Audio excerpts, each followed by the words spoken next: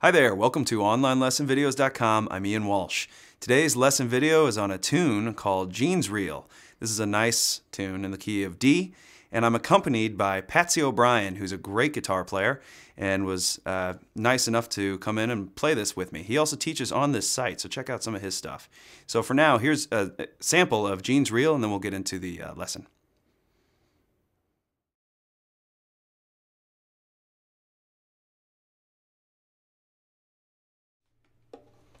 One, two, three, four.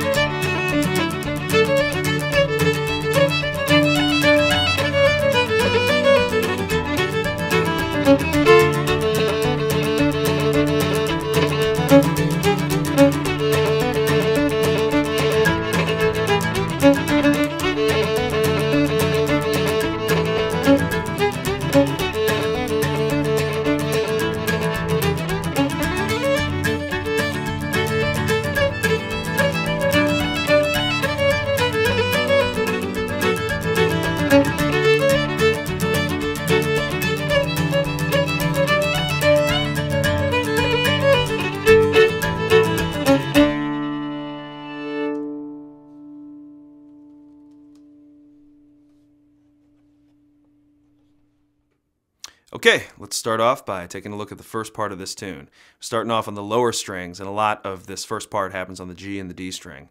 Let's refamiliarize with the uh, D scale. Let's have a look here. So the open D scale, I'm going to start on that middle string uh, to the left of the A as you look down at your uh, fiddle. And we're going to play D, E, F sharp, G, A, that's an open A. And then uh, B, C sharp, and D. Okay, let's do that again a little bit quicker. Two, three.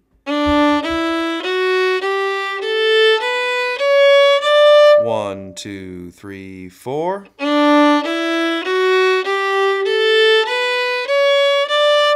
Hopefully in that uh, right side of your screen you can see some spacings on my fingers there if you're having any trouble. The two and the three, two and the third finger right next to each other, uh, sandwiched up against each other, full space between that first finger and second finger, and that's a full space down to the open too. Okay, now the other uh, notes, uh, let's go over to the G string. We're going to start on open G. We're going to play an A with the first finger. We're going to play a B, which is a full step up, moving a little bit so you can see and then another full step to the C sharp. Okay? So we're going to play G, A, B, C sharp, D, F sharp, G, A, B, C sharp, D. Moving on to the E string, we're going to go open E, F sharp, G. Here the G is right next to your first finger. Full step to the A, and then full step to the B. I don't think we use the B in this tune, but anyway, that's the rest of the scale. All in first position. You don't have to leave uh, first position at all. So let's run that again from the start. Open G. Here we go. Two, three.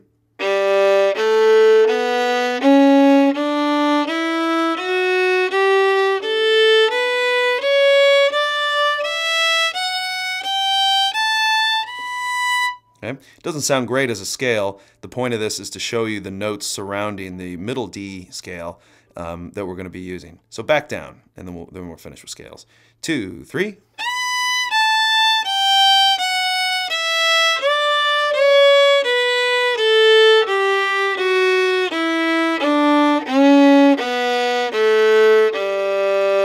Okay.